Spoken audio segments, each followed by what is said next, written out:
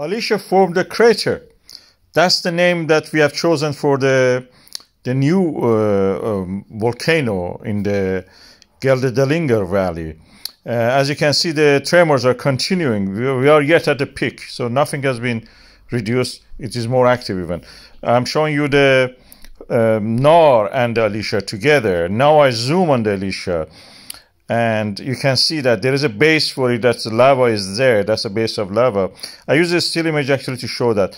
I first uh, show you the still image then i mark the base of the lava and that's the base of the lava that's a flat surface then i show the top of the where the flames or uh, the lava is visible then i measure the distance between them it's around five meter it may increase a little bit one and a half meter more or less and that's the height of it now. It has formed a crater. It is a volcano. It's not a vent. It's a volcano.